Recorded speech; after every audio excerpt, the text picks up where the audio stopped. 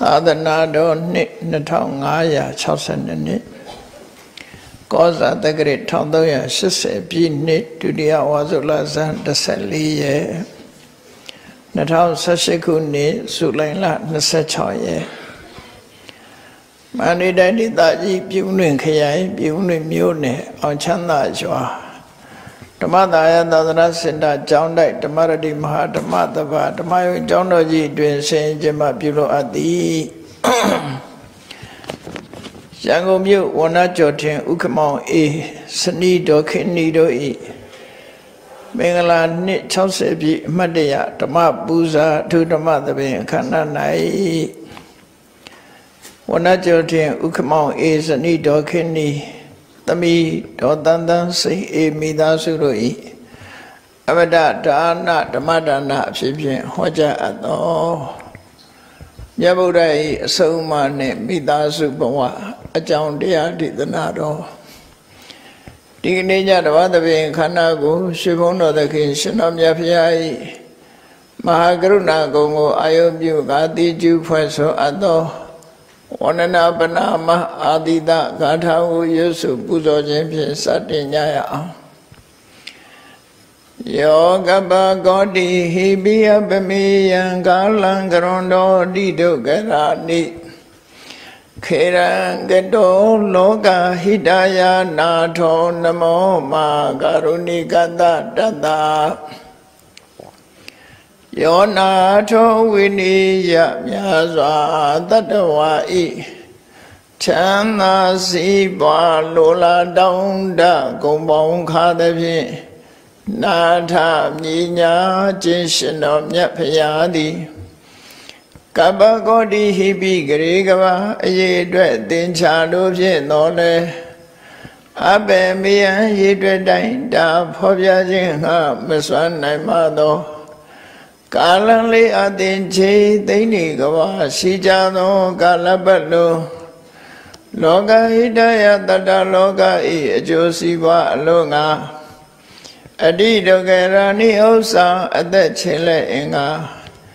မေတ္တာကြီးမှသမိတာနှင့်တထာဇနီဆွန်ញင်းကြီးဟုကျက်တိထဝေငါသက်အစုအလုံးခဲရင်တော်မူတို့ကို ကရုဏတော်ဘုရားဖြစ်ရန်ရည်တန်ကြိုးကုတ်အထုတ်တော်မူရသည်ဖြစ်၍ခေရန်လက်ချေမျက်လုံးအသက်ဆုံးလည်းရဲ့နှလုံးစိတ်ဝံကိုရောဤဗေမန်ညင်းတို့ကတောဘဝဒါနံချိန်ဖန်များစွာ ရောက်တော်မူကြရရှာလေးပြီမဟာကရုဏီကသတ္တတေဝမြာယင်ဝေတာကဲ့သို့တနာချစ်ခင်မှာကရုဏာရှင်ဖြစ်တော်မူသော တသနာတသဝိနည်းများစွာတတဝဤချမ်းသာစီးပွားလိုလားတောင်းတဂုံပေါင်းခါသည်ဖြင့်နာထမြညာထိုရှင်တော်မြတ်ဖရာအားနမောယုတိပြောင်းပြော့မန်ကိုလျော်၍ကရောယုကျိုးရှိခိုးခြင်းသည် အထုဘဝတုစင်စစ်မသွေဖြစ်ပါစေတည်း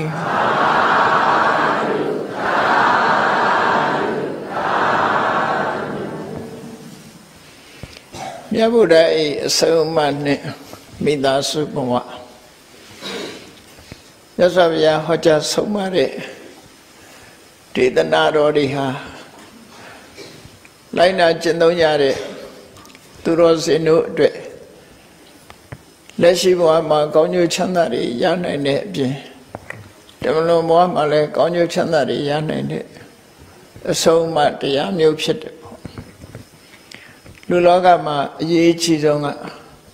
ကိုချင်းတရားဆိုတာဘုရားဘာသာဝင်ဖြစ်သူရောဘုရားဘာသာဝင်မဟုတ်သူရောလူတော်လူကောင်းတွေမှန်သမျှလက်ခံထားတာပဲဖြစ်တယ်ကိုချင်းတရားကို ethic လို့ ပြောကြတယ် moral principle ethic ကိုချင်းတရားနဲ့ပတ်သက်တဲ့အခြေခံအကျင့်တရားတွေဘယ်ဘာသာမဆိုရှိနေကြတာဖြစ်တယ်အဲ့ဒီမှာကိုကျင့်တရားလို့ဆိုရဲအသစ်ကိုဘယ်လိုတိဆောက်ကြမလဲဘဝမှာကိုကျင့်တရားမပြည့်ဘဝမှာနေထိုင်မှုအတွက်ကိုကျင့်တရားတွေကို မိမိရဲ့တဏ္ဍမှာဘယ်လိုပြိုးထောင်ကြမလဲဒါဟာပြိုးထောင်မှုပြိုးထောင်နည်းအခြေခံမှုအခြေခံနည်းကြတော့ဘုရားရဲ့ဆုံးမနဲ့အခြားဘာသာဝါဒတို့ရဲ့အဆုံးမဟာတူညီမှုတော့မရှိဘူးပေါ့ဟိုရှိရခင်ကစတင်ပြီးတော့ပေါ်ပေါက်လာပြီးဒီနေ့ခေတ်မှာတော့ဘာသာဝါဒ အမျိုးအစားခွဲခြားပြီးတော့ခေါ်နေတဲ့ဣတရနေမာနဝါဒခရီးတာလို့ခေါ်တဲ့တကုရှင်ကြီးကဖန်ဆင်းလို့လောကကြီးမှာလူတွေဖြစ်လာကြတယ်လို့အရာခသိန်းကိုတကုရှင်ကဖန်ဆင်းတယ်လို့လက်ခံယုံကြည်ထားတဲ့ပုဂ္ဂိုလ်တွေဖို့ကိုရှင်တရားဆိုတဲ့အသစ်ကိုဘာအခြေခံပြီးတော့ဆုံးမသွန်သင်ပြီးတိဆောက်ပေးတယ်လဲလို့ဆိုရင် ကောဆိုတဲ့တကုရှင်ကြီးကကြိုက်တယ်မကြိုက်ဘူးဆိုတဲ့ပုံမှာအခြေခံတယ်အဲ့ဒါကိုပဲညမစကားအနေနဲ့သုံးတဲ့အခါမှာတကုရှင်ကိုဖျားဆိုတဲ့အသုံးနဲ့သုံးတော့ဖျားကြိုက်တယ်မကြိုက်ဘူးအဲ့ဒါလို့ပြောလိုက်တဲ့အခါမှာဘုရားဘာသာဝင် အချို့တို့ရဲ့စိတ်ထဲမှာဖျားဆိုတာဒါပဲလို့အောက်မေ့သွားတယ်တကယ်ကတော့ရှင်းအောင်ပြောမယ်ဆိုရင်ခေါ်ကြိုက်တယ်ခေါ်မကြိုက်ဘူး creator ဆိုတဲ့ခေါ်ဟာလက်ခံနဲ့လက်မခံမှုဆိုတဲ့အပေါ်မှာကိုချင်းတရားကိုခြေခံထားတာပဲဖြစ်တယ်ပေါ့ဖះမကြိုက်တဲ့အလုပ်ကိုရှောင်ရမယ်ဖះကြိုက်တဲ့အလုပ်ကိုလုပ်ရမယ်ဒီပေါ်မှာအခြေခံပြီးတော့လူတွေရဲ့ကိုချင်းတရားမပြတ်နေနိုင်အောင်ဒီသွန်သင်ဆုံးမပေးကြတာဖြစ်တယ်အဲ့တော့လူသားကနေပြီးတော့အသိပညာ ကျွယ်ဝပြီးကိုချင်းတရားအကောင်းဆုံးသူတော်ကောင်းပညာရှိလို့ဆိုရမယ်ဂေါရမဗုဒ္ဓကရောအဲ့ဒါလို့ခေါ်ဆိုတဲ့ဘုရားကြိုက်တယ်မကြိုက်ဘူးဆိုတဲ့ပုံမှာဒီကိုချင်းတရားကိုအခြေခံစေတာလားလို့ဆိုကွက်ပြချနာသွားတယ်ဒါကြတော့အဲ့ဒါကိုအခြေမခံစေဘူးမြတ်စွာဘုရားရဲ့တရားတော်တွေမှာကြည့်လို့ရှိရင် လူတွေကကိုချင်းတရားကောင်းအောင်တိဆောက်ဖို့အတွက်အလွယ်ဆုံးအတွေးခေါ်ဖြစ်တာဘာလဲဆိုရင်ကိုချင်းစာတရားကိုချင်းစာတရားဟာအမြဲတမ်းကိုအရေးပါတယ်ပေါ့လူတော်လူကောင်းဖြစ်ဖို့အတွက်ကိုချင်းစာတရားရှိကိုချင်းစာတရားရှိလာပြီဆိုလို့ရှိရင်အရာရာမှာအမြဲတမ်းပြည့်ပြည့်စုံတဲ့ကိုချင်းတရားမျိုးဖြစ်ပေါ်စေတယ်ဥပမာမဲ့အသေးဖွဲလို့ယူဆကြရတဲ့ လမ်းပေါ်မှာကာယထာတို့အမိုက်တရိုက်ပြစ်ထာတို့ကအစကိုချင်းစာတရားအခြေခံလိုက်မယ်ဆိုရင်အထူးပြောစရာမလိုပဲနဲ့ထိုပုဂ္ဂိုလ်ရဲ့အစင်မြင့်နဲ့ယဉ်ကျေးမှုနဲ့အစင်မြင့်နဲ့လိုက်နာမှုဟာဖြစ်ပေါ်လာတာဖြစ်တယ်ကိုချင်းစာတရားထားတတ်ပြီဆိုရင်အရာခတ်သိမ်းမှာဆိုပါစို့လမ်းဘေးမှာကာယထတောင်း ငါကာယထရင်သူများသွားတာတွေအနောက်ရှက်ဖြစ်မလားချီတယ်ချီရင်အနောက်ရှက်မဖြစ်တဲ့နေရာရွေးချယ်ပြီးတော့ရက်တယ်အဲ့ဒါလိုကစပဲကိုလှုပ်တဲ့လှုပ်ရမှန်သမျှသူတော်ဘာပေါ်မှာအနောက်ရှက်အဟန္တာများဖြစ်မလားကိုသုံးပြုထားတဲ့ပစ္စည်းတစ်ခုစွန့်ပြက်ရန်ဖြစ်တယ်အေးစွန့်ပြက်ရမယ့်နေရာအမိုက်မုံတို့မရှိလို့စွန့်ပစ်ခဲ့မယ်ဆိုလို့ရှိရင် တန်ရှင်းရေးလုပ်ဖို့အတွက်တစ်ဖက်သားတွေမှာအချိန်ပေးရလိမ့်မယ်ဒါကြောင့်မို့ငါအမိုက်ကလေးငါဘာငါထဲ့သွားပြီးအမိုက်ပုံးတွေးတဲ့အခါမှာထဲ့ခဲ့မယ်ဆိုတော့ဒါကိုချင်းစာတရားအခြေခံတာတွေပဲကိုချင်းစာတရားဆိုတာမေတ္တာကိုအခြေခံတာပဲဖြစ်တယ်တစ်ဖက်သားကိုစာနာတတ်တယ်ထောက်ထားတတ်တယ်ကိုမကြိုက်တာကိုသူများကိုမလုပ်ဘူးလို့ဆိုလိုတယ်ပေါ့လောကလူသားတွေကကိုတော့မကြိုက်ဘူးသူများလှုပ်တာကိုမကြိုက်တာကို မကြိုက်တာဖြစ်ပေမဲ့လို့သူများကိုတော့လှုပ်တယ်သူများကိုတော့လှုပ်တယ်ခေမဆိုင်ဘူးတစ်ဖက်သားဘလို့အခြေအနေရောက်ရောက်ကိုစင်ပြေဖို့တခုတည်းကိုကြည့်လို့ရှိတယ်ကိုကျင်းစာတရားမရှိဘူးဆိုရင်အဲ့ဒီလိုဖြစ်သွားလို့ရှိရင်သူ့ရဲ့လှုပ်တာကိုင်းတာပြောတာဆိုတာတွေဟာတစ်ဖက်သားကိုအထောက်အကူမဖြစ်ဘဲနဲ့တစ်ဖက်သားအတွက်အနှောက်အယှက်တွေဖြစ်လာတယ်အဲ့ဒါလို့အနှောက်အယှက်ဖြစ်လာတဲ့အခါမှာ လူတွေမှာစိတ်အနှောက်အယှက်ဖြစ်ရတယ်ဆိုတာကိုကညီညွတ်ရေးအတွက်အခုအခါနေဖြစ်သွားတယ်ပေါ့အလုံးအလူမှုရေးညီညွတ်ရေးအလုံးကိစ္စဝိစ္စချောပြေဖို့အတွက်စိတ်စနိုးစနဲ့အနှောက်အယှက်တွေဖြစ်ပေါ်လာတယ်ဆိုအဲ့ဒါကြောင့်မလို့ကိုချင်းစာတရားဆိုတဲ့မေတ္တာအခြေခံတဲ့အတွေးဟာဒီကိုချင်းတရားတွေအလုံးကိုပြည့်ပြည့်စုံစေနိုင်တယ်ပေါ့ အဲ့ဒါကိုမြတ်စွာဘုရားကဝေလူဒွာရိယသုတ်တံမှာအတုပနာယိကဓမ္မပရိယာယဆိုပြီးအတုပနာယိကအတ္တဆိုတာမိမိကိုဥပနာယိကနှိုင်းစာကြည့်တာကိုယ်နဲ့နှိုင်းမရိုင်းဆိုတာလို့ကိုချင်းစာတရားထားကြည့်တာဆိုလို့ကိုချင်းစာတရားထားကြည့်ခြင်းအပြင်ကိုမကြိုက်တာကိုမလုပ်ဘူးတစ်ဖက်သားကိုငဲညာတယ် ဒီကနေ့ခေတ်ယဉ်ကျေးမှုတစ်ခုဖြစ်တယ်ဒီအစင်လာတစ်ခုဆိုတော့ဖះလက်ထက်ကလေးကလည်းဒါရှိပါရဟန်းတော်တွေဟာအလူကနေကိစ္စတွေမှာဆိုလို့ရှိရင်ထေကြီးဝါကြီးမထေမြတ်တွေကိုရှေ့ကထားပြီးတော့တွားရတဲ့ထုံးစံရှိတယ်ခုခေတ်ပြောတဲ့ကျူပေါ့တန်းစီတဲ့အလေးထားတစ်ခုရှိတယ်အနောက်ကကြော်တဲ့ကြော်မတဲ့အောင် အဲ့တော့ဒီယဉ်ချင်းမှုတရားကလည်းပဲဘယ်ကိစ္စပဲဖြစ်ဖြစ်ကြော်မတဲ့ရဘူးဆိုတာရှိတယ်သို့တော့ဒီကြော်မတဲ့ရဘူးဆိုတာကိုနေရာတိုင်းလားလို့ဆိုမြတ်စွာဘုရားရဲ့ဒီအဆုံးမတရားတော်ဟာအလုံးကိုရှင်းတဲ့အားရစရာကောင်းတယ်နေရာတကာတိုင်းမှာထေကြီးဝါကြီးဆိုတဲ့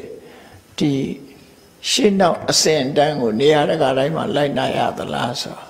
မလိုက်နာရဘူးဘယ်နေရာမှမလိုက်နာတော့ဆိုတွိုင်းလက်ဝင်တဲ့အခါမှာလိုက်နာဆရာမလို့အဲ့ဒါကြတော့တွိုင်းလက်မှာအဲ့ဒါတော့လိုက်နာလို့ရှိရင်အောက်ထားရရင်ဒုက္ခရောက်တော့မှာဟုတ်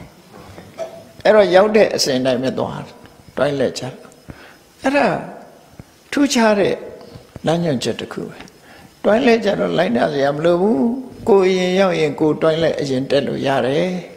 နော် အဲ့ဒီကြတော့ထေစင်ဝါဆိုင်လုံမနေနဲ့လုံနေလို့ရှိရင်အောက်နေရရင်ဒုက္ခရောက်လိမ့်မယ်အဲ့ရောက်တဲ့အစဉ်အာဂတပฏิပါတိယာလို့ခေါ်ရောက်လာတဲ့အစဉ်တိုင်းလိုက်ပြဿနာတစ်ခုဖြစ်ဘူးတယ်အဲ့လိုပဲဒီထေစင်ဝါဆိုင်လုံနေတဲ့အခါကျတော့တန်းစီရတယ် တန်းစီတော့သူများတွေကကြောကြောတက်သွားတော့ဟိုအရင်ရောက်ပြီမလို့ကိုကငဲနေတော့ကိုယ့်ရဲ့အကြီးတွေကိုဥစားပေးနေရတဲ့အခါအောင့်ထားရင်ကနေမူးလဲသွားတဲ့ဖြစ်ဖြစ်တစ်ခုရှိအဲ့ဒါကြောင့်မလို့ခိလနာစရင်နေနဲ့ဒါကိုတော့တန်းစီဆက်မလို့ဘူးလို့သူဆိုတယ်အဲ့တခြားကိစ္စတွေမှာတော့အဆင်ပြေမဲ့ဆိုရင်ဥစားပေးရမယ်တန်းစီမှုဒီလိုလုပ်အောင်အဲ့တော့အာဂတပฏิပါတိဆိုတာခဏခေတ် တန်းစီတာဟာရောက်လာတဲ့အစဉ်နဲ့ပဲတန်းစီတာအဲ့ဒီရောက်လာတဲ့အစဉ်တစ်ခုကို तू ကငါတဲ့အရင်ရောက်နေတာသူ့ကိုငါဥစားပေးရမယ်ဆိုတဲ့စိတ်တက်ကလေးမွေးပြီးတော့ကိုချင်းစာလိုက်ပဲငါလည်းအရေးကြီးမှာပဲ तू လည်းအရေးကြီးမှာပဲအဲ့တော့သူ့ तू ကအရင်ရောက်နေတာဖြစ်သောကြောင့်သူအရင်သွားပါစေဆိုတဲ့စိတ်တက်ကလေးထားလိုက်လို့ရှိရင်ဟောပြဿနာမရှိတော့ကိုချင်းတရားပဲလေအမှန်တမ်းခေါင်းသွား ဒါကြောင့်မို့ကိုချင်းစာတရားကိုအခြေခံလိုက်မယ်ဆိုရင်အတော်ကိစ္စဝိစ္စတွေဟာပြည့်ပြည့်ချော်မောသွားမှာပဲဖြစ်တယ်အဲ့ဒါလိုမဟုတ်ဘူးဆိုရင်အခုခံနေဖြစ်တယ်နော်ကိုကနောက်မှလည်းရောက်သေးတယ်ရှေ့ကြော်တက်သွားတယ်ဆိုနောက်လူတွေမျက်စောင်းခဲမှသိချတာမျက်စောင်းထိုးတော့မှမကြေမနက်တွေဖြစ်လာတော့မှဖြစ်တယ်ဟောအဲ့ဒါမျိုးမဖြစ်ရအောင်စိတ်မှာကိုချင်းတရားဆိုတာရဲ့အခြေခံတရားဒီအသစ်ဆိုတဲ့ကိုချင်းတရားအခြေခံပါ ကိုချင်းစာတရားဟာအပူကြီးအရေးကြီးလာတယ်ကိုချင်းစာတရားကိုကြည့်မယ်ဆိုရင်တော့မေတ္တာပါတဲ့စဉ်းစားမှုပဲမေတ္တာကိုအခြေခံတဲ့စဉ်းစားမှုလို့ဆိုလို့ရပေါ့အဲ့ဒါလို့သွားကြမယ်ဆိုလို့ရှိရင်ကိုယ့်ရဲ့ဒီတည်သူပဲဖြစ်စေမတည်သူဖြစ်စေအများနဲ့နေတဲ့နေရာမှာအလုံးချောမွေသွားမှာပဲဖြစ်တယ်ဒါကြောင့်မို့ ဒီနေရာမှာဘုရားသခင်ကြိုက်တယ်မကြိုက်ဘူးဆိုတာတွေမပြောတော့ဘူးကိုချင်းစာတရားနဲ့ပြောတယ်မြတ်စွာဘုရားနောက်တစ်ခုကတော့ဘာနဲ့အခြေခံတော့ဆိုရင်ဒီကောင်းတာလုပ်ဖို့မကောင်းတာလုပ်ဖို့ကိုချင်းတရားကောင်းဖို့နဲ့ပတ်သက်ပြီးဘာနဲ့ထိမ့်သိမ့်လို့ဆိုရင်ကမ္မတက္ကတာတမ္မာဒိဋ္ဌိလို့ခေါ်တဲ့မှန်ကန်တဲ့အမြင်တစ်ခုကိုလို့တာကိုယ်သာလင်တာဝန်ရှိတယ်ဆိုတဲ့အမြင် responsible responsibility ဟာအမှန်မှအရေးကြီးတယ်တာဝန်ရှိမှုတာဝန်ရှိလို့တာဝန်ယူမှုဆိုတာရှိရမယ်ကိုလို့ရင်ကိုတာဝန်ရှိတယ်တာဝန်ရှိလို့ကိုတာဝန်ယူရမယ်အဲ့ဒါဟာတာဝန်ယူခြင်းသည်ဖြစ်စေမယူခြင်းသည်ဖြစ်စေကိုလို့တဲ့အလုပ်ဟာကိုနဲ့သာသက်ဆိုင်တယ်ကိုနဲ့သာသက်ဆိုင်တယ်ကိုရဲ့လုပ်ရရဲ့ခေါင်းကျိုးဆိုးကျိုးကိုကိုပဲရမှာဖြစ်တယ်ဆိုတဲ့ဒီမှန်ကန်တဲ့မြင်လေးတစ်ခုခြေခံလိုက်မယ်ဆိုရင်လေ ကိုချင်းတရားကောင်းမွန်ဖို့အတွက်လမ်းခင်းပေးပြီးသားဖြစ်သွားတယ်ဒါဘုရားရဲ့ဆုံးမတွေမှာကြည့်မယ်ဆိုရင် ethic လို့ခေါ်တယ်ကိုချင်းတရားကောင်းမွန်မှုအတွက်ကိုချင်းတရားကောင်းမွန်မှုအတွက်ဒီမှန်ကန်တဲ့အတွေးခေါ်တဲ့မှန်ကန်တဲ့အမြင်နှစ်ရဟာဘုရားဘာသာဝင်တို့အတွက်လမ်းညွှန်ချက်တစ်ခုပဲဖြစ်တယ်ပေါ့ဒီနေရာမှာဘုရားကြိုက်တယ်မကြိုက်ဘူးမစင်စားဘူးလှုပ်တဲ့လှုပ်ထိုက်တာနဲ့သွားတာဖြစ်တယ်ပေါ့ ဒါဟာပို့ပြီးတော့မှန်ကန်မှုရှိတယ်လို့ဆိုအရာခတ်သိမ်းမှာမြတ်စွာဘုရားဒီကိုချင်းတရားကိုအဓိကထားပြီးတော့ဟောကြားဆုံးမလေးရှိတယ်ဒါကြောင့်မို့လောကကြီးကိုဘသူကစောင့်ရှောက်တယ်လေလို့ဟောတဲ့အခါမှာဟိရိဥတ္တပါလို့ဆိုတာဟိရိဆိုတာမြန်မာလိုရှက်တယ်လို့ပြန်တယ်ဥတ္တပါကကြောက်တယ်လို့ပြန်တယ်ဆိုလိုတာကမဟုတ်တာ လောက်ရမှာစိတ်မလုံတာဟိရိမဟုတ်တာလောက်ရမှာစိတ်မပါတာဟိရိနော်မဟုတ်တဲ့အလုပ်ကိုလောက်ရမှာကိုဆက်ဆုပ်ယွမုန်းတာဟိရိရှက်တယ်ဆိုတာကြတော့တခြားရှက်ဖွယ်ရာတွေနဲ့ရောထွေးကုန်တယ်နော်ရှက်တယ်ဆိုတာတချို့ရှက်တယ်လေလူကြားတဲ့စကားထပြောမှရှက်တာတော့ကဲအဲ့ဒီအရှက်တွေနဲ့ရောကုန်သို့တော့ ဒီနေရာမှာရှက်တယ်ဆိုမဟုတ်တာလောက်ရမှာကိုရှက်တာလို့ဖြစ်ရဟုတ်တာလောက်ရမှာကြတော့မရှက်ရမဟုတ်တာလောက်ရမှာရှက်တယ်ပတ္တပဆိုတာတစ်ဖက်သားကိုလေးစားတယ်အလုံးကိုကိုမဟုတ်တာလောက်တာကိုသိသွားရင်အလုံးကိုလေးစားလို့စိတ်ထဲမှာကြောက်တယ်မဟုတ်တာလဲလို့သူတော်ဘာတွေရဲ့အမြင်မှာအမြင်ခံရမှာကိုကြောက်တယ် အဲ့ဒီကြောက်လန့်မှုဆိုလို့တယ်ပေါ့နော်တမန်အဖြစ်ပြန်တဲ့အခါကျတော့ဟိရီကိုဟိရီကိုရှိန်ဖူးရှိန်ဖူးနဲ့ရှိန်ဖယ်ပြန်ပြီးတော့ဥတ္တပကျတော့ fearless fear လို့ပြန်တယ်အဲ့တော့ဆိုလိုတဲ့အတိပ္ပယ်ကဟိရိဥတ္တပဆိုတာမဟုတ်တာလောက်ရမှာဒီရှက်တယ်မလှုပ်ချင်တဲ့စိတ်မဟုတ်တာဆိုရင်မလှုပ်ဘူးဆိုတဲ့စိတ်ရဲ့ ကိုကိုသိခါကိုထိန်တယ်ပတ်ဝန်းကျင်ကိုလေးစားတယ်အလေးပေးတယ်မဟုတ်တာလှုပ်ရင်အလုံးရဲ့အပြစ်တင်ခံမှာဟုတ်မလိုလားဘူးအဲ့ဒါကိုကြောက်တယ်လို့ပြောတာနော်မဟုတ်တာလှုပ်လို့ရှိရင်ဒီကုသိခါကိုထိန်တာကဟိရိအများကိုလေးစားတာကဩတ္တပလေးစားတာဆိုတာရှိရမှာလေဩကိုအမေကိုအဖေလူတိုင်းမှာရှိကြ ကိုဆရာသမားတွေငါမဟုတ်တာလို့လို့ရှိရင်ငါအမေငါအဖေတိတ်ခါကြလိုက်မယ်ဒါဩတ္တပအတွေ့ဩတ္တပဆိုတာအဲ့ဒါမျိုးပြောတာနော်အဲ့တော့ဟိရိကြတော့ငါလူပုဂ္ဂိုလ်ကမဟုတ်တာလို့ရင်ရှက်เสียကြီးနော်ဒီအလုပ်မျိုးဟာငါလုပ်တဲ့အလုပ်မဟုတ်ဘူးလို့အဲ့ဒီအလုပ်နဲ့ပတ်သက်ပြီးအလုပ်ပေါ်မှာကိုယ်သိခါကိုထိမ့်ပြီးတော့မဟုတ်တာမလုပ်တာကဟိရိလို့ အဲ့ဒီဟိရိဥဒ္ဒဘဆိုတဲ့တရားနှစ်ပါးဟာလောကကြီးကိုထိမ့်သိမ့်ဆော့ရှော့တဲ့တရားနှစ်ခုဘယ်လိုထိမ့်သိမ့်ဆော့ရှော့တာတော့ဆိုလူသားတွေလူပိသပြီး human dignity ကိုတိုးမြင့်စေတတ်တဲ့ထိမ့်သိမ့်မှုလို့ဆိုလို့တိရစ္ဆာန်လောကနဲ့လူလောကကိုစီးချပေးပြီးတော့လူတွေဟာတိရစ္ဆာန်နဲ့အဆင့်မြင့်နေဆိုတာကိုကျင်တရားပိုင်းကနေထိန်းတာဟိရိနဲ့ဩတ္တပါပဲဖြစ်အဲ့ဒါလို့မရှိရင်လူတွေဟာတိရစ္ဆာန်နဲ့တန်းတူဖြစ်သွားနိုင်တယ်ပေါ့ ဒါကြောင့်မို့ဟိရိဩတ္တပါကိုလောကပါလာတရားလို့မြတ်စွာဘုရားဟောတယ်အကယ်၍ဟိရိဩတ္တပါကင်းမဲ့သွားပြီလူတွေဟာဘသူကိုမှအဲကိုယ့်ကိုယ်လည်းကိုယ်သိက္ခာကိုလည်းကိုယ်မထိန်းတော့ဘူးနော်ပတ်ဝန်းကျင်ကိုလည်းမလေးစားဘူး I don't care လောက်လာဘသူမှကြုံဆိုင်ဘူးဆိုတဲ့စိတ်ဓာတ်တွေဖြစ်လာအဲ့ဒီစိတ်ဓာတ်တွေဖြစ်လာလို့ရှိရင်ဟိရိနဲ့ဥတ္တပပျောက်ကွယ်သွားသည့်အတွက်ကြောင့် လူရဲ့ဂုဏ်သိက္ခာတွေကရှော့ကျသွား ethics ဆိုတာမရတိနိုင်တော့ဘူးပေါ့နော် human dignity တွေအကုန်လုံးဟာအောက်တန်းကျသွားတယ်လျောကျပျောက်ကွယ်သွားနိုင်တယ်ပေါ့ဒါကြောင့်မို့မြတ်စွာဘုရားရဲ့အဆုံးအမမှာဟိရိဥတ္တပဟာကိုချင်းတရားကိုထိမ့်သိမ့်တဲ့နေရာမှာအရေးကြီးတယ်လို့သူတို့ဟောတယ်အဲ့တော့ဟိရိဥတ္တပရှိလာအောင်လေဘာလို့အောင်လို့ဆိုခုနပြောတဲ့ကိုချင်းစာတရားနဲ့ ကမ္မတက္ကတာသမ္မာဒိဋ္ဌိ responsibility ဒီနှစ်ခုကိုအတွေးနဲ့အမြင်မှန်ကန်တဲ့အတွေးနဲ့မှန်ကန်တဲ့အမြင်ကိုဟာဒီဟာနှစ်ခုပေါ်မှာအခြေခံပြီးတော့စဉ်းစားလိုက်မယ်ဆိုလို့ရှိရင်ကိုဟာလူကောင်းသူကောင်းတယောက်ဖြစ်သွားနိုင်တယ်မြတ်စွာဘုရားဟာလည်းလူကောင်းသူကောင်းဖြစ်ဖို့ပဲဆုံးမတာစိတ်နေသဘောထားတွေမှန်ကန်မှုပဲဆုံးမဒီ အဲ့ဒီမှန်ကန်မှုကြောင့်မြတ်စွာဘုရားရဲ့အဆုံးအမတရားတော်ဟာလူလောကမှာပညာရှိသူတော်ကောင်းတွေဆုံးမတဲ့မြတ်စွာဘုရားရဲ့အဆုံးအမနဲ့ဟာတူတူပဲမြတ်စွာဘုရားအမှန်တရားတိုင်းလိုက်နာကျင့်သုံးခြင်းအပြင်ကောင်းကျိုးချမ်းသာတွေရနိုင်တယ်ဆိုတာဘုရားကတည်း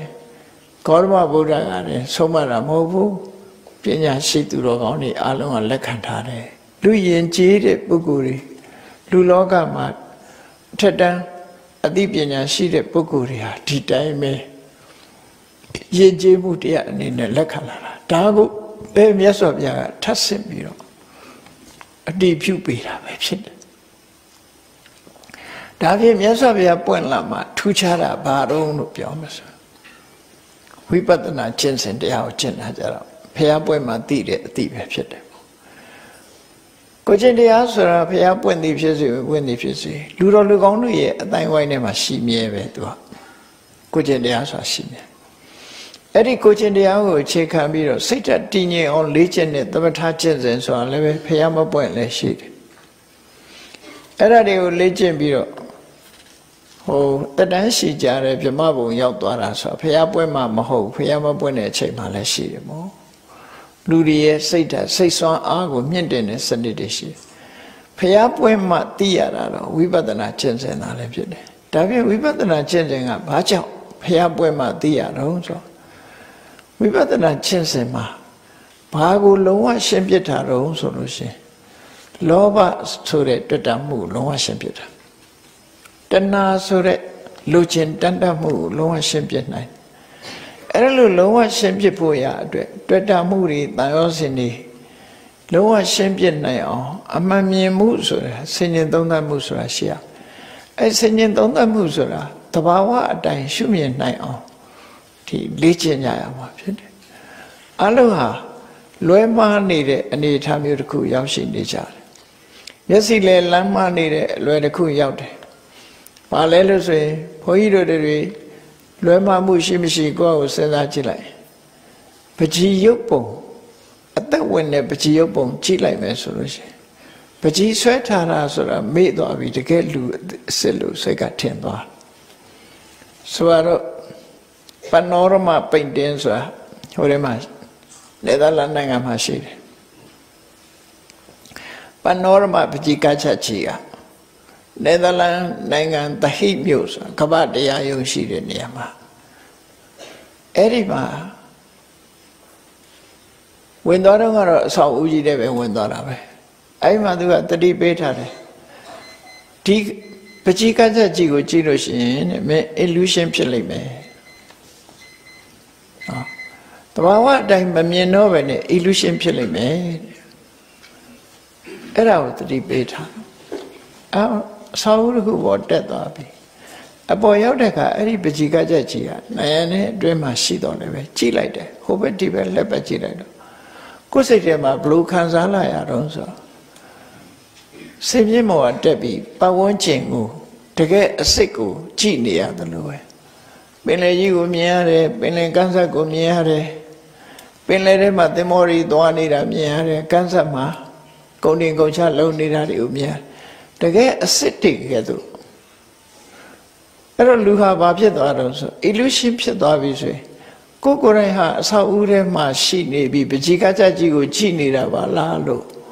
အသိစိတ်ဟာမရှိတော့ပဲနဲ့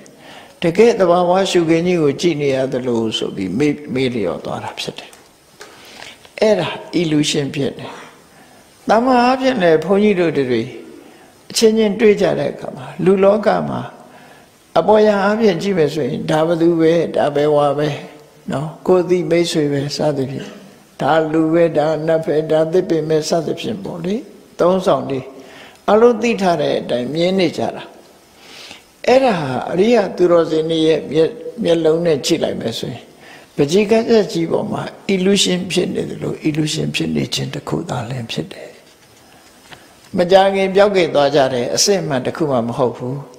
ခိတ္တခဏအရေးအယောင်နေနဲ့ပေါ်လာတာသာဖြစ်တယ်ပေါ့ပေါ်လာပြီးတော့ရှိတဲ့အတိုင်းမဟုတ်ဘူးတဖြည်းဖြည်းပြောင်းလဲသွားပြီးနောက်ဆုံးမှမမြဲတဲ့သဘာဝအရာအပိယနဲ့ dispiya ပေါ့ပေါ်လာလိုက်ပြောက်သွားလိုက်တာဖြစ်တယ်ကိုထင်တဲ့အတိုင်းတခုမှမဟုတ်တော့ဘာနဲ့ဥပမာတူတော့ဆိုရင်အိမ်မက်ထွဲမှတွေးတဲ့အရာနိုးလိုက်တာနဲ့ပျောက်သွားတယ်လို့ပဲအိမ်မက်ဟာ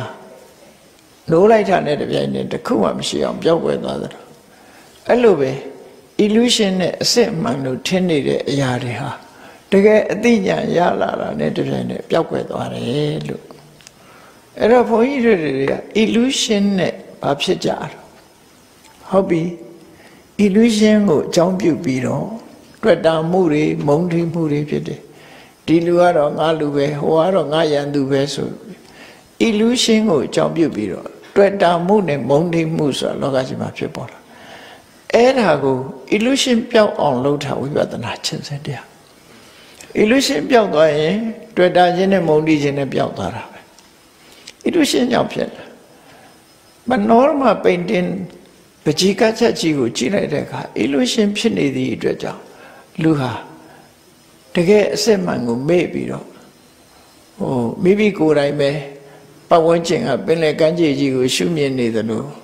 ကယ်ကိုအဆောင်ဥအပြင်ရောက်သွားသလိုစိတ်ထဲမှာခံစားသို့တော့မကြခင်ဒီအဲ့ဒီနေရာကရွှေ့လိုက်တာနဲ့တပြိုင်တည်းကိုဟာ illusion ဟာငါအဆောက်အဦကြီးထဲမှာပါလားဆိုဖြစ်သွားအဲ့ဒါလို့အမှန်သိဖို့ဆိုတဲ့အသိဉာဏ်ဟာအဗ္ဗဒမဒီ illusion ပြောက်အောင်အသိဉာဏ်နဲ့ပဲလောက်ကြမှာမျက်စိလည်းလမ်းမှသွားသလိုပဲ ဝိပဿနာတရားကိုကြင်ကြံကြုတ်ကိုအထုတ်ခြင်းဟာ illusion ပြောက်အောင်လုပ်ခြင်းပဲဖြစ်တယ် illusion ပြောက်သွားပြီဆိုလို့ရှိရင်အမှန်မြင်သွားသည့်အတွက်ကြောင့်မုန်းစရာဆိုတာလည်းမရှိဘူးချစ်စရာဆိုတာလည်းမရှိတော့အာယုန်ဒီဟာလုံးဝအစစ်အမှန်ကိုတွေ့နေရတယ်ဒါကြောင့်မလို့ဝိပဿနာတရားကိုချစ်ကြကြုတ်ကိုပေါ်ပြအထုတ်ခြင်းအပြင်မုန်းစရာအာယုန်လည်းမတွေ့ဘူးချစ်စရာအာယုန်လည်းမတွေ့တော့ဘူးအစစ်မှန်အာယုန်တစ်ခုပဲတွေ့တော့ အဲ့ဒီအစစ်မှန်အာယုန်ကိုအခြေခံထားပြီးတော့မုန်းစိတ်တွေတွေ့တာစိတ်တွေကိုဖယ်ရှားပြစ်လိုက်တာပဲဖြစ်တယ်ပေါ့ဖယ်ရှားပြစ်လိုက်တာနဲ့တပြိုင်နက်နောက်ဆက်တွဲဘာတွေပါသွားတော့ဆိုတွေ့တာစိတ်ကိုအကြောင်းပြုပြီးတော့ဖြစ်နေတဲ့တတ်တောကဆိုတာမရှိတော့လောကလူတွေမှာတောကဖြစ်နေတယ်ဆိုတာတွေ့တာစိတ်ကိုအကြောင်းပြုဖြစ်တာ where there has attachment there has worry ဆိုတာရှိတယ်တွေ့တာတဲ့နေရာမှာ worry ဖြစ်တာပဲ မတွေ့တာဘူးဆိုရင် worry ပဲဖြစ်ရန်ကုန်မြို့မှာဆိုရင်နေ့စဉ်လူတွေကတည်ဆုံးနေကြတာကိုမသိတဲ့လူဆိုမတုံလို့ဘူးကိုသိပြီဆိုရင်တုံလို့တဲ့ဟဲ့ဘသူဖြစ်ဆုံးရှာပြီစိတ်ထဲမှာမကောင်းဖြစ်အကိုနဲ့ပူရင်းနှိလာတယ်ဆိုရင်တုံလို့သွားအဲ့လိုဟာဘာကြောင့်ဟိုဟိုဟာလည်းလူသေးတာပဲဒါလည်းလူသေးတာဘာကြောင့်ဟိုလူသေးတုန်းကတော့ပြုံးနိုင်ပြီဒီလူသေးတော့ဘာကြောင့်မပြုံးနိုင်ရတာလဲဆိုတော့ illusion ပဲဖြစ်နေတာပဲလေတွေ့တာမှုရှိနေတာဖြစ်အဲ့ဒီတွေ့တာမှုကိုဖျောက်လိုက်လို့ရှင်သေသူဆိုတာမရှိတော့ဘူးနဲ့ယုတ်တရားနဲ့တရားရဲ့ချုပ်ဆုံးမှုဆိုတာမြင်လိုက်ပြီဆိုလို့ရှိရင် illusion ပျောက်ကွယ်နေသည့်အတွက်ကြောင့်တောကဆိုတာမလာတော့ဘူးလို့ဒီလိုပြောတာနော်ဒါမြတ်စွာဘုရားရဲ့စစ်မှန်တဲ့ကျင့်စဉ်တစ်ခုပဲဘယ်ဘာသာတရားမှမှဒီဟာမရှိဘူးမြတ်ဗုဒ္ဓရဲ့အဆုံးအမတရားမှသာရှိတယ်ဘုရားကိုယ်တိုင်ကလည်းပဲပြိဋိဘံသံဃာနီးမှာ သူပတ္တပြပိုက်ကြီးကိုရှင်းပြီးတော့ပြောခဲ့တယ်52နှစ်တာကာလတရားဓမ္မရှားပွေခြင်းကျင့်သုံးဟောပြောခြင်းဖြင့်ငါရဲ့အတွေ့အကြုံအသိအမြင်ဘဝမှာဝိပဿနာတရားကိုတစ်စိတ်တစ်ပိုင်းလောက်တင်ဟောနိုင်တဲ့ပုဂ္ဂိုလ်တတစိတ်တစ်ပိုင်းလောက်တစွန်းတစလေးဝိပဿနာတရားအပြည့်စုံမဟုတ်ဘူးတစွန်းတစလေးဟောနိုင်တဲ့ဘာသာတရားဟာငါငါရဲ့သာသနာမှတပါမရှိဘူးလို့တတော်ဟောတယ် 52နှစ်ဆိုတာတရားရှာတာက6နှစ်တရားကျင့်သုံးနေတာ6နှစ်ဖရာအဖြစ်တို့ရောက်ပြီးတော့45အဲ့ဒီ45နဲ့6နှစ်ကိုပေါင်းပြီးတော့52နှစ်လို့ပြောတာအဲ့ဒီအတွင်းမှာလုံးဝမရှိဘူးလို့သူတို့ဆိုလို့တယ်အဲ့ဒါလို့ပြည့်ပြည့်စုံတဲ့မြတ်စွာဘုရားရဲ့အဆုံးအမဖရာပွဲမှာသိရတာတော့ဝိပဿနာတရား ဝိပဿနာတရားအထုံးမှနိဗ္ဗာန်ဆိုတာကိုသွားတာဖြစ်တယ်ပေါ့အဲ့တော့သောတာပန်ဖြစ်ဖို့ဆိုတာလေနိဗ္ဗာန်ကိုသိချမြင်ပြီဆိုတော့မှသောတာပန်ဖြစ်တာအဲ့တော့ဘုရားဘာသာဝင်သူတော်စင်နေအနေနဲ့ကတော့သောတာပန်ဖြစ်သွားရင် ခိုင်မာသွားပြီနိယတခိုင်မာတယ်ဆိုလို့သောတာပန်ဖြစ်ချင်ကြဖြစ်ချင်တာအပယ်မလားဘူးဆိုတာလေးတခုနဲ့တည်းပဲစိတ်ကကျဉ်းတယ်ကြောက်တယ်လေပယ်ကြမှာကြောက်တယ်ကြောက်တဲ့အခါကျတော့ ပယ်မလားဘူးဆိုတာလေးကိုကြည့်ပြီးတော့သောတာပန်ဖြစ်ချင်ကြသို့တော့သောတာပန်ဖြစ်ဖို့လွယ်လားလို့ဆိုလွယ်တော့မလွယ်ဘူးအဲ့တော့ဖြစ်ဖို့အတွက်အရေးကြီးကဘာလို့မှာတော့ဆိုအတိတ်လို့ခေါ်တယ်ကိုချင်းတရားကောင်းလိုက်လို့ရှိရင်ဟာတော့သောတာပန်မဖြစ်သေးလဲအပေမကြပါဘူးလို့ပဲဒီလိုပဲမှာသောတာပန်မဖြစ်သေးလဲအပေမကြဘူးကောင်းတဲ့ဘုံဘဝကိုရောက်နိုင်တယ်အရေးကြီးဆုံးကအတိတ်ဆိုကိုချင်းတရားဟာအရေးကြီးဆုံး ဒါမို့မြတ်ဗုဒ္ဓရဲ့အဆုံးအမနဲ့ဒီမိသားစုဘဝဆိုတာကြည့်ရမြတ်စွာဘုရားမိသားစုဘဝမှာဘလို့နေကြတယ်ဒီဘဝတစ်ခုမှာဒီ joint venture လို့ခုခေတ်စကားနဲ့ပြောမှဆိုလို့ရှိရင်ကုမ္ပဏီတစ်ခုတည်ထောင်ခြင်းပဲဖြစ်တယ်မိသားစုတဦးနဲ့မိသားစုတဦး နှစ်ခုဟာဒီလက်တွဲခြင်းဟာဘဝကျင့်မောအဖြစ်လက်တွဲခြင်းဟာ joint venture အလုပ်တစ်ခုတူတူလုပ်ကြဖို့လုပ်ခြင်းဖြစ်တယ်ပေါ့နော်အဲ့ဒါလို့လှုပ်လှုပ်တဲ့အခါမှာကိုချင်းတရားနဲ့ပတ်သက်တဲ့အရေးချင်းတွေကဘာတွေလဲဆိုတာကိုမြတ်စွာဘုရားသွန်သင်ဆုံးမပေးတာပဲရှိတယ်အဲ့ဒီအရေးချင်းတွေပြေးလိုက်လို့ရှိရင်အောင်မြင်မှုအကျိုးအမြတ်ကြီးမားတယ်ပေါ့ ဒါကနိဗ္ဗာန်ရောက်ကြောင်းလုံနေတာတော့မဟုတ်ဘူးနိဗ္ဗာန်ရောက်ကြောင်းလုံနေတာမဟုတ်သည့်အတွက်ကြောင့်ဒီလိုအကျင့်နဲ့တော့နိဗ္ဗာန်မရောက်ဘူးသို့တော့ကောင်းရသူဒီဘုံတွေရောက်တယ်အပယ်လွတ်တယ်နတ်ပြည်ရောက်နိုင်တယ်ဆိုတာတော့သိချတယ်နော်ကိုကျင်တရားကောင်းမွန်အနိဗ္ဗာန်ရောက်ချင်တော့ဝိပဿနာလောက်အောင်မှာဖြစ်တယ်ပေါ့သူ့လမ်းကြောင်းနဲ့သူပဲသူ့လမ်းကြောင်းနဲ့သူပဲအဲ့တော့မြတ်စွာဘုရားတခါတော့ကမထုရာဆိုတဲ့မြို့ရဲ့ ဝေရင်စာဆိုတဲ့မြို့ရဲ့ဒီမြို့နှစ်ခုအကြားမှာခီးသွားတယ်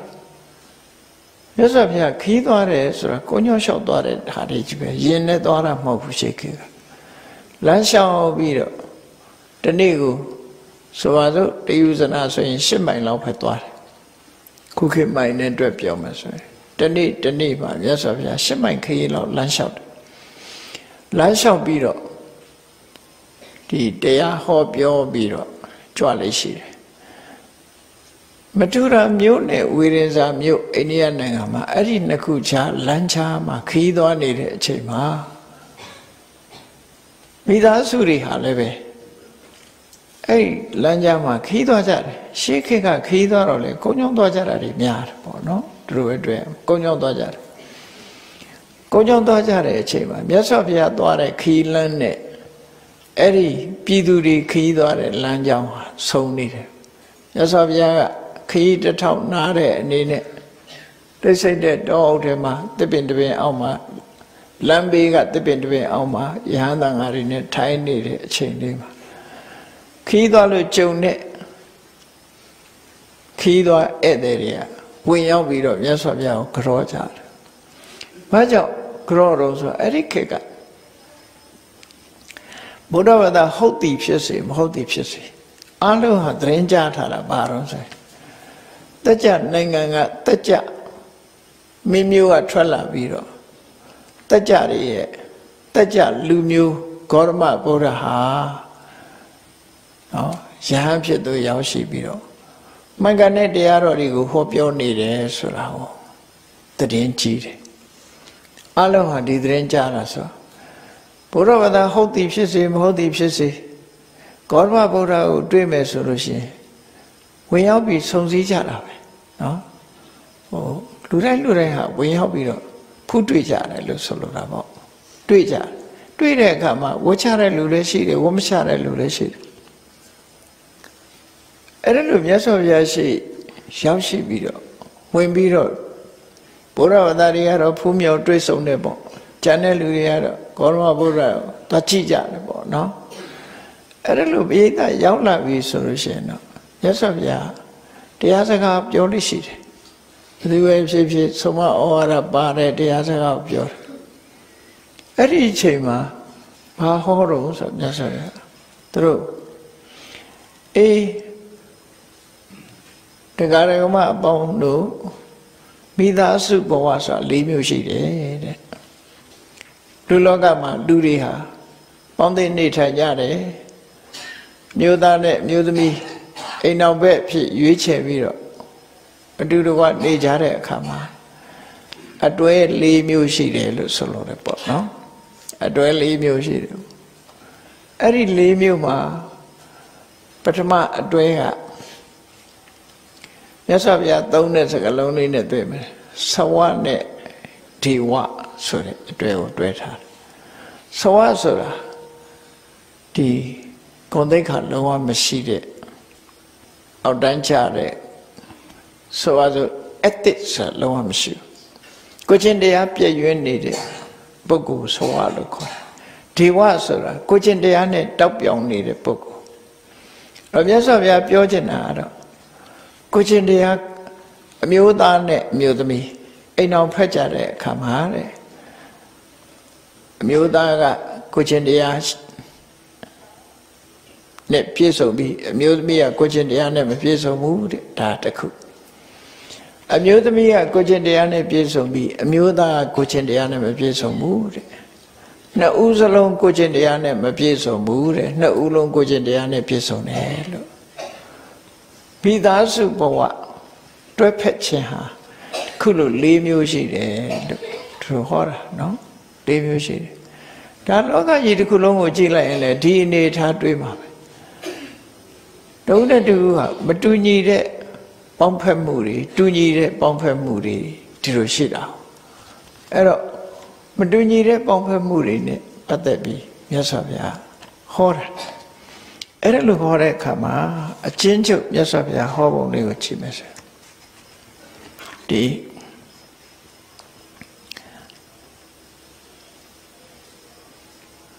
ဥဘောတတ္တာဝဋိညုစကတရိယပရိပါဒကာတေဟွန်တိဇာနိပတယောသဝတံဝတမာဂတာအဲ့ဒီမှာဒီနှစ်ဦးစလုံးဟာရှုံချချက်ကဲမဲ့ပြီးသူများကိုပေးဖို့ကမ်းဖို့ဆိုတာလုံးဝလည်းမစင်စားဘူး ကိုသုံးဖို့ပဲကြည့်တယ်ကိုပစ္စည်းတရွေးသားမှသူများမပေးဘူးနော်ဘယ်သူ့ကိုမှလည်းဖြန့်ဝေတာမရှိဘူးကတရိယနှမျောတယ်တွန့်တိုးတယ်ကိုယ်သာသုံးမယ်ဆိုတဲ့စိတ်ဓာတ်ကပြင်းပြတယ်သူများကိုဘာလို့ပေးရမှာလဲကိုရှာထားတဲ့ပစ္စည်းကလွယ်တာမဟုတ်ဘူးသူများပေးเสียလားဆိုတဲ့အတွေးတွေခေါင်းထဲမှာရှိတယ် အဲ့လိုတွေမကဘူးလာရောက်တောင်းခံတဲ့ပုဂ္ဂိုလ်ဆိုလို့ရှိရင်ဆက်လွတ်တယ်နောက်မလာနဲ့နောက်တစ်ခါလာရင်ခွေးတဲ့တိုင်ပဲ beware of dog ရှင်းထားတဲ့အိမ်ချမ်းမှာလည်းခွေးရှိတယ်ရှိရှိမရှိရှိအော်အလူကံမဝင်ရဆိုတဲ့ဘုတ်လည်းချိတ်တယ်အဲ့လိုဟာမျိုးတွေလုပ်ပြီးတော့တေဟွန်တိဇာနိပတယောသောဝတံဝတမကတာဆိုဒီ လူလောကကြီးမှာဖြစ်ပျက်နေတဲ့အခြေအနေတစ်ခုနဲ့ပတ်သက်ပြီးတော့သူတို့ပြောတာเนาะအဲ့ဒီမှာဒီဟာနဲ့ပတ်သက်ပြီးတော့တာမိကောဟောတိဒုတ်တိလောခတရိယောပြိပါဒကောအမျိုးသားကကိုချင်းသီလလုံးဝမရှိဘူးတဲ့အတိတ်ကိုချင်းတရားပြက်ပြားတယ်အယက်သေးစားတောက်စားတယ်အကစားဖက်တယ် ကိုချင်းတရားတွေပြပြတဲ့အမျိုးသားကတရိယောပြိပါဒကောအဲအလှခံနဲ့တောင်းခံတဲ့လူတွေဆက်လွတ်တယ်ပရိယာသီလဝတိဟောတိအမျိုးသမီးကကိုချင်းသီလနဲ့ပြည့်စုံတယ်ကိုချင်းတရားကောင်းတယ်နော်ဝတိညူဝိတမစ္ဆရာမျိုးသမီးကရေရောတယ်ဒီစိတ်နှလုံးဖြူစင်တဲ့ရေရောတယ် အဲသူတော်ရဲ့လိုအပ်ချက်ကိုနားလဲတယ်အဲ့ဒါလို့အိမ်တော်ဘက်ဆိုလို့ရှိရင်တဲ့အမျိုးသားကသီလမရှိဘူးအမျိုးသမီးကသီလရှိတယ်အဲ့ဒီအိမ်တော်ဘက်မျိုးဟာအမျိုးသမီးကထေဝီခုံကြီးနဲ့တောက်ပပြီးတော့အမျိုးသားကဆဝခုံသေးနေတဲ့ပုဂ္ဂိုလ်ပေါ့နော်ခုံသိခါညှိုးနှွမ်းပြီးတော့လုံးဝ လူဘဝမှာကိုကျင်တရားမရှိသည့်အတွက်ကြောင့်ခုံသိခါအပြင်တောက်ပြောင်မှုမရှိတဲ့အိမ်တော်ပဲလို့မြတ်စွာဘုရားသတ်မှတ်တယ်နော်အိမ်တော်ပဲဖြစ်သွားတယ်နောက်တစ်ပါးအဲ့ဒီတိုင်းပဲနောက်တစ်ခုကတာမိကောသီလဝဟောတိဝဋ္ဌိညဝိဒမစ္စရောအမျိုးသားကကိုချင်းတရားကောင်းတယ်အမြဲတမ်းအနေထိုင်ကိုချင်းတရားလေးစားလိုက်နာတယ် ဝိရိညဝိဒမစ္စရာဝိဒမစ္စရောတစ်ဖက်သားရဲ့ခံစားချက်လိုလားချက်တွေကိုနားလေသဘောပေါက်ရမြမကသူဟာဒီကိုယ်သာသုံးမယ်ဆိုတဲ့စိတ်ဓာတ်မရှိဘူးရဲ့ရောတယ်နော်ဖော်ရွေတဲ့ရက်ရောတယ် generosity ပေါ့ရက်ရောတယ်ပရိယာဟောတိဒုတိလာအမျိုးသမီးကကိုကျင်တရားမရှိဘူးကတရိယာပြိပါဒက နှမျိုးစေးနေပြီးတော့ဆက်ဆူကျိမ်းမောင်းတတ်တယ်အဲ့ဒီလိုဆိုလို့ရှိရင်တာပိသဝတံဝတတိသဝေနပတိတာဟောအဲအမျိုးသမီးကတီလာမရှိသည့်ဖြစ်ကြောင့်ဆဝဂုံတိခါအဖြစ်ညှိုးနွမ်းနေတယ်အမျိုးသားကတီလာရှိသည့်အတွက်ကြောင့်ဒေဝ ဂုံတိခါအဖြစ်တောက်ပြောင်နေတယ်ဒီမိသားစုဘဝဟာတူကတီလာရှိတူကတီလာမရှိဂုံကြီးရှိမရှိနှစ်ခုပေါင်းဖက်ထားတာဖြစ်လို့ဒီအိမ်တော်ဘက်ဟာတစ်ဖက်နဲ့တစ်ဖက်မလိုက်ဖက်တဲ့အိမ်တော်ဘက်လို့သူတို့ပြောရမှာဖြစ်တယ်ပေါ့အဲဒီလိုရှိဒုတိယအိမ်တော်ဘက်အနေနဲ့အဲ့ဒီလိုရှိတဲ့ထဲမှာဒါကိုပဲ အမျိုးသမီးကလည်းကိုချင်းသီလမရှိဘူးအမျိုးသားကလည်းကိုချင်းသီလမရှိဘူးနှစ်ဦးလုံးဟာ generosity ဆိုတာလည်းမရှိဘူးသူတို့ဟာ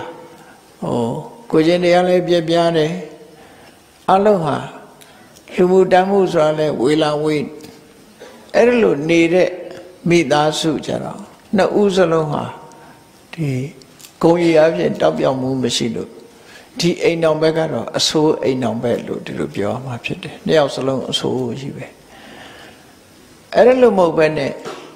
အမျိုးသားကလည်းကိုချင်းသီလနဲ့ပြည့်စုံတယ်ရရောတယ်အမျိုးသမီးကလည်းကိုချင်းသီလနဲ့ပြည့်စုံတယ်ရရောတယ်ဆိုတဲ့အိမ်တော်ဘက်ကြတော့နှစ်ဦးစလုံးအကောင်းနေကြည့်လိုက်ဖက်တဲ့အိမ်တော်တဲ့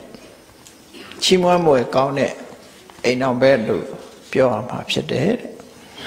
အဲ့ဒီမှာမြတ်စွာဘုရားဟောတာဥဘောတတ္ထာဝတိညုစာနှစ်ဦးလုံးဟာတရားတရားတွေရှိကြတယ်တရားတရားရှိုံနဲ့မကဘူးတင်ညတာဓမ္မစီဝိနောတင်ညတာဆိုတာကိုချင်းသီလာလဲကောင်းကြတယ်ဒီအပြောဆိုဒီနှုတ်ကိုစောင့်စည်းတယ်တီလဆိုတာစောင့်စောင့်စည်းစည်းနေတာကိုတီလတော့ခေါ်တာပဲ စောင့်စည်းမှုပဲကိုချင်းတရားစောင့်စည်းတာဘာလို့ဆိုရင်အပြောဆိုနဲ့လုတ်ကင်မှုစောင့်စည်းတာဆိုလိုတာကာယကံနဲ့ဝစီကံထိမ့်သိမ့်တာတီလစိတ်ကဘယ်လိုပဲနေနေကာယကံဝစီကံကိုထိမ့်သိမ့်တယ်ဥမာမယ်နှုတ်ကလိမ်မပြောဘူးမှန်တာပဲပြောတယ်ဒါနှုတ်ကိုထိန်နေခေါ်တယ်တူနဲ့တူကွဲပြားသွားအောင်ဂုံးမတိုက်ဘူးမချွန်ဘူးတဲ့အောင် ညင်ညွတ်အောင်သာပြောတယ်တူနဲ့တူဒဒီအများတစ်ဖက်သားကိုစိတ်တိုင်းထွားပြီးကျမ်းတဲ့စကားမျိုးမပြောဘူးရှင်ကြီးလိမ့်မှာတိမ်မွေးစွာပြောဆိုတယ်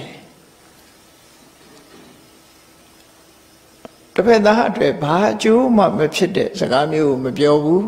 လောကအကျိုးတန်တရားအကျိုးကောင်းကျိုးဆိုကောင်းကျိုးတွေကိုဖြစ်ပွားစေတဲ့စကားမျိုးကိုသာပြောတယ်ဆို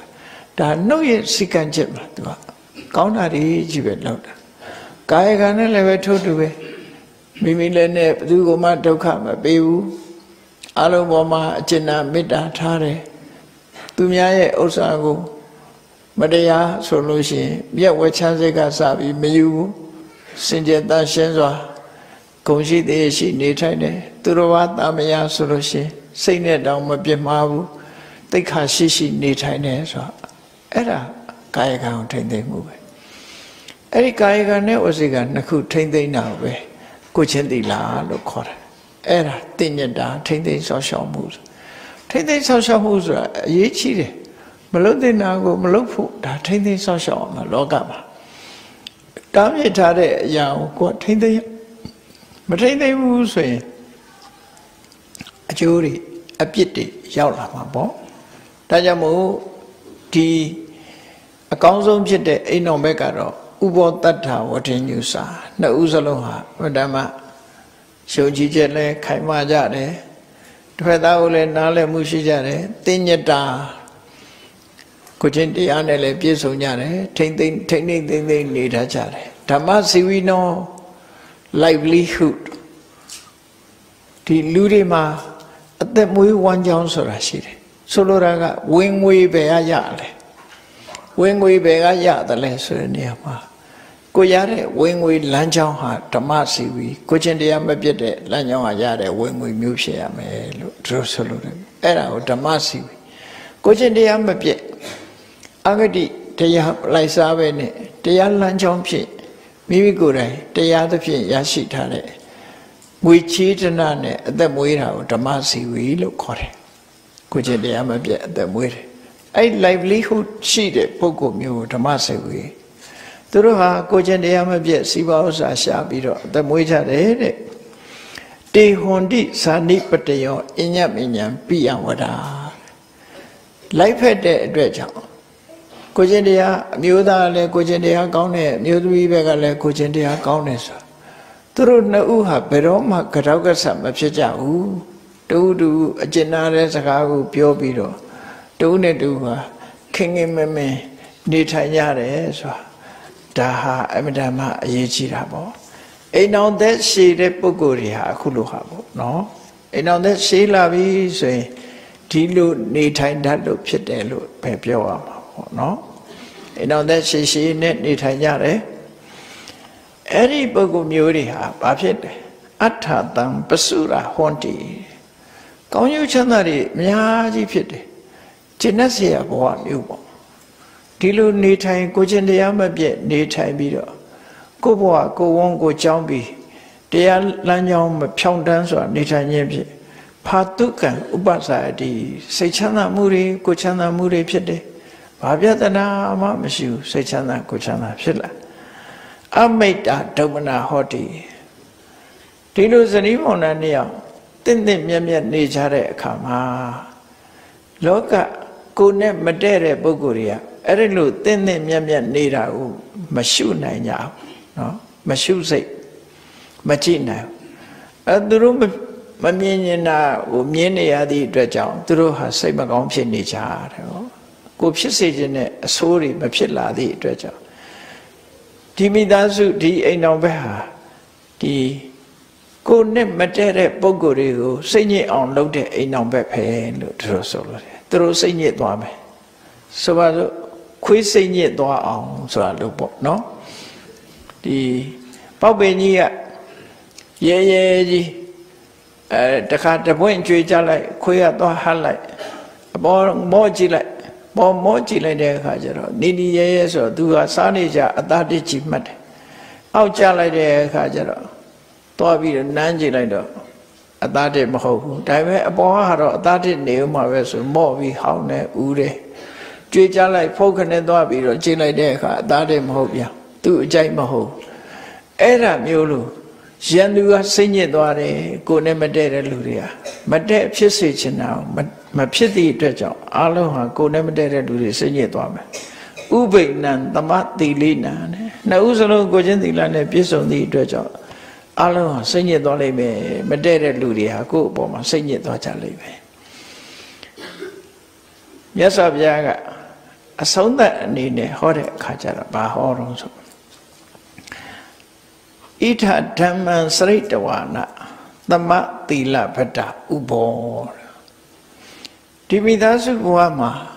နှစ်ဦးလုံးတူညီတဲ့အကျင့်တရားတူညီတဲ့ကိုကျင့်တရား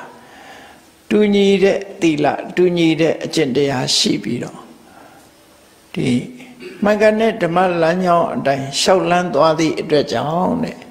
ဒီဘဝအဆုံးသတ်တဲ့အခါမှာနန္ထိနောဒီဝလောကသမေဒီဘဝဆုံးသတ်ရင်တေချာပေါက်ကောင်းမြတ်တဲ့နတ်ပြည်ကိုရောက်မှာပဲလို့ထိုးဆိုလို့တယ်နော်ကောင်းမြတ်တဲ့နတ်ပြည်ကိုချင်းတရားဘာကြောင့်လို့ဆိုလူဘဝရောက်လာတာဒါနနဲ့သီလနဲ့ရောက်ကြတာပဲအလုံးဟောအခုလို့ဒါနတရားလည်းရှိတယ်ရရောတယ်ဆိုတာ generosity ရှိရင်ဒါနတရားလည်းရှိလား ဒါနဆိုတာအလှကြီးပေးမှဒါနမဟုတ်ဘူးကိုယ်အိမ်လာတဲ့ဧည့်သည်ကိုတိခင်အခန့်ကျွေးမွေးတာလည်းဒါနပဲမိသားစုဘဝမှာလည်းပဲအေးစားပါစေဆိုပြီးတော့ချက်ပြုတ်ကျွေးတာလာလည်းဒါနပဲအလုံးဒါနကိုယ့်ရှိတဲ့ဒရိษံတွေကိုလည်းမျောလင်းချက်နဲ့ကျွေးတာမဟုတ်ခဲနဲ့ဥမာမဲ့ခွေးကြည့်လို့ရှိရင်လာတဲ့လူကြိုက်ဖို့ဆိုပြီးကျွေးတာမျိုးမဟုတ်ဘူးသူစားပါစေဆိုတာကျွေးတာ ကြောင်ကျွေးရင်လည်းပဲကြွက်ခုတ်နိုင်အောင်ဆိုရဲကျွေးတာမဟုတ်ဘူးသူကသူစားနေတော့မယ်ဆိုတဲ့အကျဉ်းတရားနဲ့ကျွေးတာဆိုရင်ဒါဌာနတွေပဲတရိษံလူတဲ့ဒါနဟာအစတရားအကျိုးပေးတယ်လို့ပြန်ဆိုပြပြောတယ်အစတရားဆိုတာဟာနဲတာမှမဟုတ်တာနော်ကိုကတစ်ခါလုံးရင်အစတရားလူတွေကတော့ထင်လိုက်ပဲကိုတစ်ခါလုံးတာအစတရားမများလို့မလားဆိုမများဘူးဘာကြောင့်မများဘူးလို့ပြောရတော့ဆိုရင် ကိုယ့်ကိုလက်တွေ့ကြည့်ပေါ့တရက်စီလေးတစီပဲဆိုင်တစီဆိုင်ရင်တရက်သီးကတလုံးပဲသီးတင်တာပေါ့ဘယ်ဟုတ်မလဲတရက်စီတစီဆိုင်လိုက်တာနဲ့တရက်ပင်ကသီးလိုက်တာထောင်ချီဖြစ်နေဟုတ်အကျိုးဆိုအဲ့လိုတူပွားလာနော်တူပွားလာဒါနကောင်းမှုကအဲ့ဒီတစ်ပင်စိုက်တာနဲ့အလားတန်တူတယ်ပေါ့ကိုယ်စိုက်တုန်းကတစီပဲစိုက်တယ်သို့တော့ရလာတဲ့ fruition နေ fruit ပေါ့နော် အကျိုးတရားတွေကြတော့အများများအမြောက်များစွာရတယ်လို့အေးလူသားတယောက်ကိုချင်းသီလမရှိတဲ့လမ်းပေါ်ကလူတယောက်ကိုတနာလို့ကျွေးလိုက်တယ်ဆိုရင်အစတထောင်ကိုချင်းသီလရှိတဲ့ပုဂ္ဂိုလ်ကျွေးမယ်ဆိုအစတသိန်းဒီလိုတုံ့ပြန်မှုတွေအားတွေကတော့မတူတတ်ဘူးဒီလိုမတူခြင်းဟာဘာကြောင့်လို့ဆိုရင်အေးလေကြတိကိုမြေဆိုင်လို့ရှိရင်အသီးနဲ့မှာပေါ့ မြေဩဇာရှိတဲ့မြေကိုစိုက်မယ်ဆိုလို့ရှိရင်အတိကြတာပေါ့ဒီလိုဟာတော့ကြွားချမှုရှိတယ်လို့သူတို့ဆိုလို့ဒါနကောင်းမှုနဲ့ပတ်သက်လာဒီလိုကြွယ်ပြချတာမှုရှိ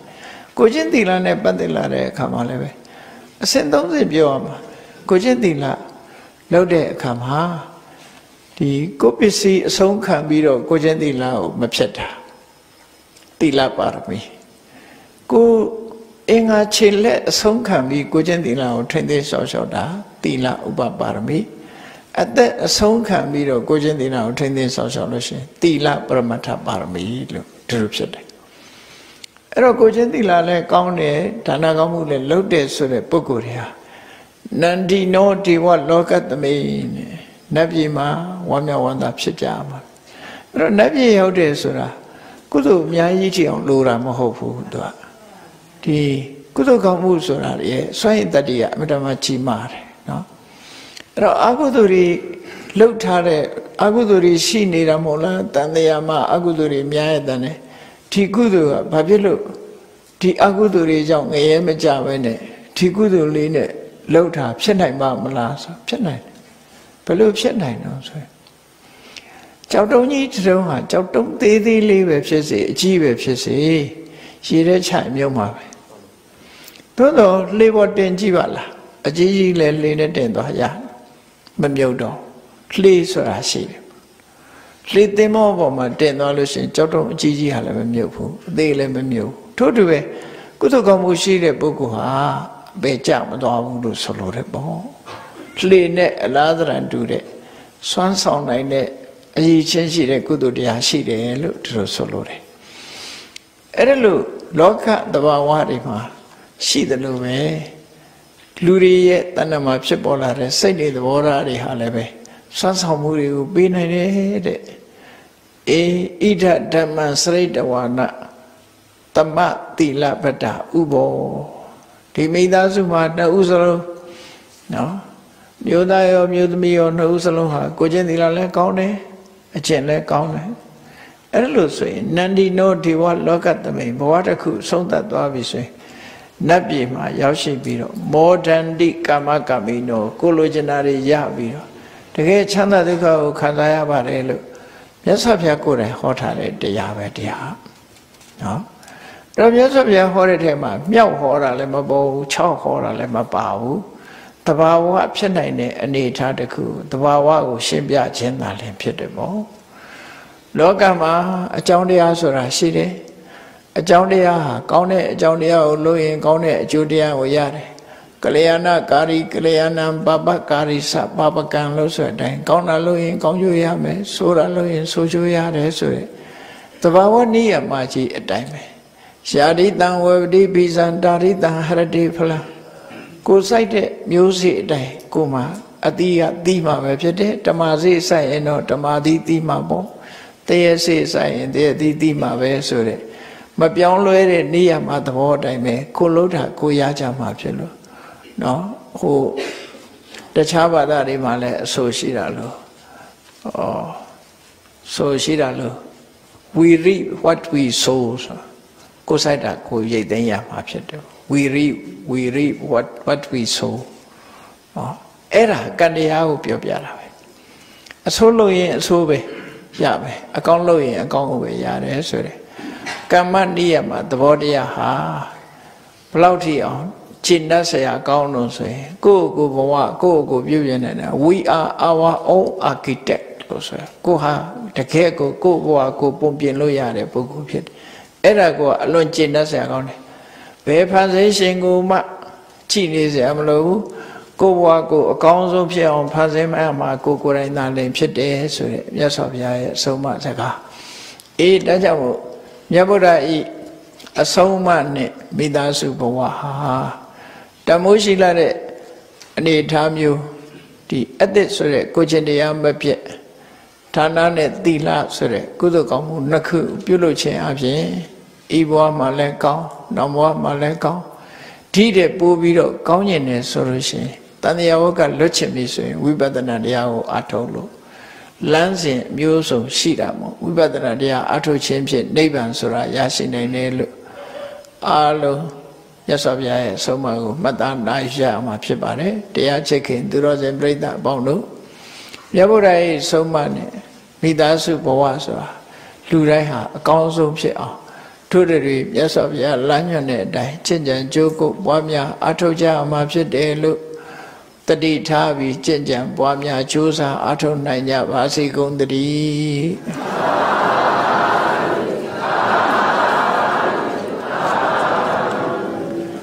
မေတ္တာပို့ကြရအောင်တတဝများစွာဘေးရန်กว่าချမ်းသာကြပါစေချမ်းသာတတဝများစွာ ပေယံကွာပေယံကွာချမ်းသာကြပါစေချမ်းသာကြပါစေမေတ္တာရည်ချမ်းမေတ္တာရည်ချမ်းသုံးငါဖြံသုံးငါဖြံငြိမ်းချမ်းကြပါစေငြိမ်းချမ်းကြပါစေမေတ္တာရည်ချမ်းမေတ္တာရည်ချမ်းသုံးငါဖြံသုံးငါဖြံငြိမ်းချမ်းကြပါစေငြိမ်းချမ်း